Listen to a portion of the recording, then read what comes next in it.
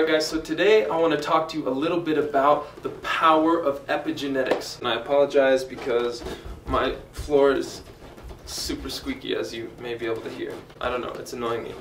Okay, so we all know a little bit about genetics, right? It's it's what we're made of. It's the genetic code that we were given, you know, when the egg and the and the sperm met together, and those are our genetic code that we received from our parents. But there's this very, very important new field of research called epigenetics. And epi comes from the Greek meaning um, on top of or over or outside. And what it means is basically the genetic changes can be modified based on environmental, lifestyle factors and other things like this. So while part of your genetic code is fixed and can't be changed, another part of it can be changed. And that part can sometimes make all the difference between life and death, between wellness and, and illness, between amazing quality of life and feeling like crap all the time, okay? I want you to imagine a manuscript. Part of it is written in ink, and part of it is written in pencil. Now, the, the part written in ink, you can't change it. That's your genetics, okay?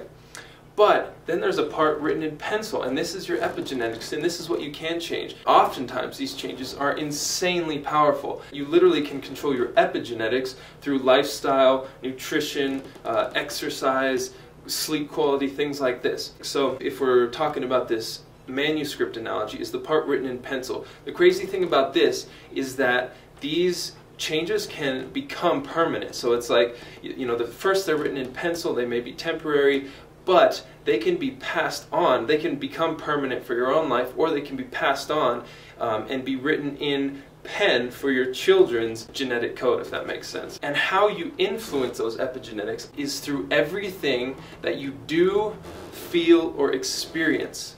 Okay, let me repeat that. Everything that you do, feel, or experience speaks directly to your cells and modifies your epigenetic code. Now that sounds a little extreme, maybe it is. I don't have like studies to support that for every single action and every single feeling and every single experience.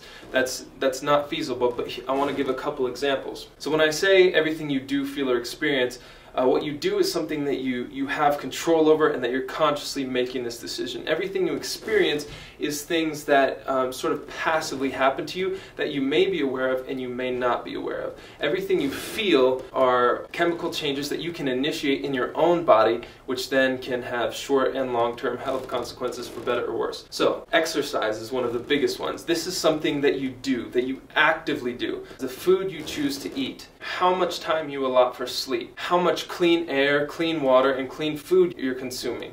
Right? All of these things are things that you do. These things directly speak to your cells, both in the short term, and these things can even be passed on into the the pen or the genetic code of your offspring if you have kids. So that's everything that you do, everything you feel. Let's talk about that for a second. So I want you to think of the happiest time in your life, the happiest experience that you've ever had, okay? Um, this could be maybe maybe you had a surprise birthday party, maybe you got this amazing promotion, maybe it was the, the day you graduated high school or college, the birth of your first kid, whatever it was, the happiest day of your life.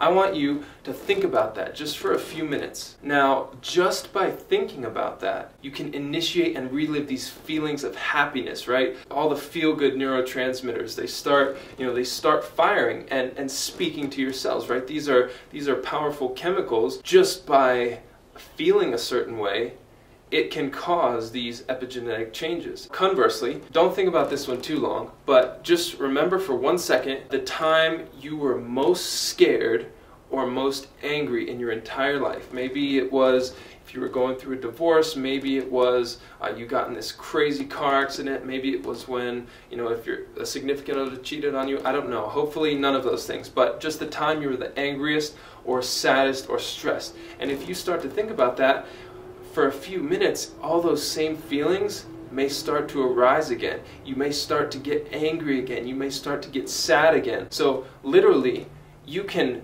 cause a spike of cortisol, a spike of adrenaline, these powerful hormones, just by your thoughts, okay?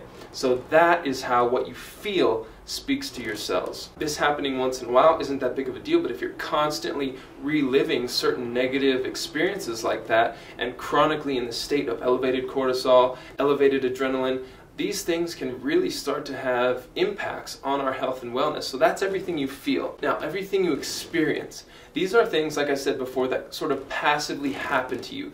This may be, maybe you live in, like Hong Kong has terrible air quality, so every day these people are having this experience. It's sort of passive. They can't really control the air quality, but they're having the experience of of breathing in all these toxins from the cars, from the uh, manufacturing plants, and this is sort of an experience that's happening to them. I hope none of these things have happened, but if you were maybe hurt really bad in a romantic relationship, or abused as a child, or or were in an abusive relationship, right? This is an experience that was happening to you, and it spoke to your cells. It spoke to your mind and it spoke to your body and it told you to act a certain way in the future. Let's say somebody broke into your house, okay? This is an experience you had and now you, you feel like you just can't be safe, that you're not safe in your own home. And now you have this chronic elevated stress to where every single little creak or sound or the wind blowing or a branch brushing up against the window, now every time it's just you know you get freaked out you get stressed out your cortisol levels rise so that can be one way that experiences speak to your cells you literally have the power to rewrite certain elements of your genetics. But this happens through things we do, feel, and experience. It's not direct, it's indirect, but it still has these powerful real world influences. So that's it. I hope this has provided some sort of insight for you or helped you think about things in a little bit of a different way. I know I don't want to get too abstract or too new agey or out there, but these things are important and I want you to begin to consider these things a little bit. Let me know in the comments below. I want you to talk to me about one thing that you feel and experience that have a positive impact on you and positively change your epigenetic code. And if you have any questions, comments, concerns, problems, or ideas, please uh, message me, Facebook me, email me, whatever. I'd love to chat more. Thank you all for watching. Hugely appreciated. I hope you found something useful, and I'll see you next time. I have not washed my hair in like three days.